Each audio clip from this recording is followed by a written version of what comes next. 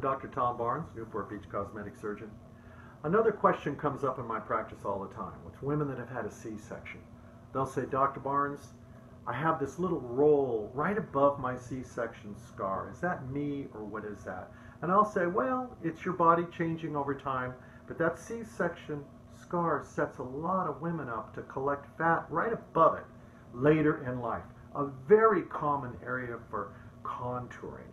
Easy to do. I do them awake as a lunchtime procedure. I can usually do it in 30 or 40 minutes. Almost no downtime. Downtime just means come in the next day because I have a foam pad over the area a little compression belt. We take the pad off. It looks great already. And then you wear compression for a week or two. Really no downtime at all for the C-section dilemma, I call it. So I'm saying to you girls, you women, ladies, don't worry about that C-section.